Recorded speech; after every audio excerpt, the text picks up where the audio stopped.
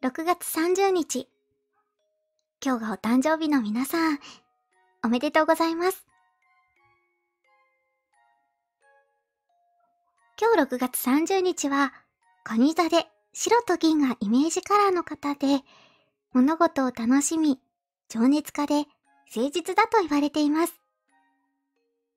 そんな今日6月30日は、ハーフタイムデー。元旦1月1日から1年の半分が過ぎ、あと残り半分となる。そんな日だと言われていますというかそういう日になっています。ちなみに6月30日は、前半の年の反省と後半の年への希望を抱く日とされています。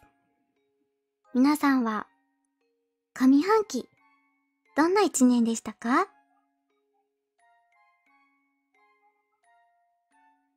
そんな上半期を振り返るようなことをしてもいいかもしれないですね。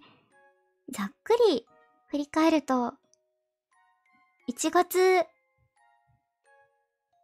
私は着物を着付けていただいて、皆さんにお会いしたりとか、それから、バレンタイン、そして、10万人を達成することができて、3D 化が決定して、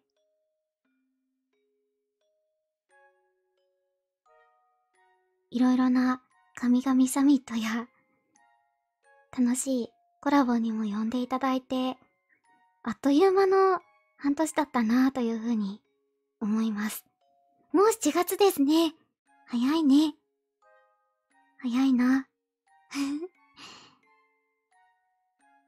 下半期はもっともっともっと頑張って皆さんに嬉しい気持ちと喜びと そして癒しをお届けしていきたいなと思います。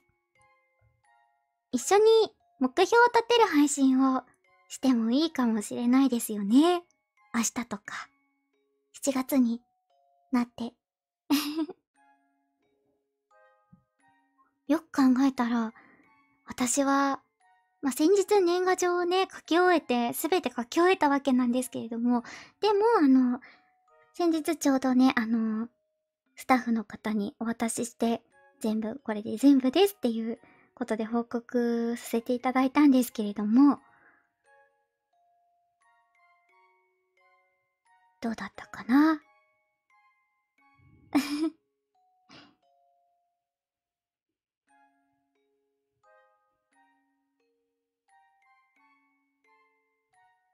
私、半年もかかったんですね。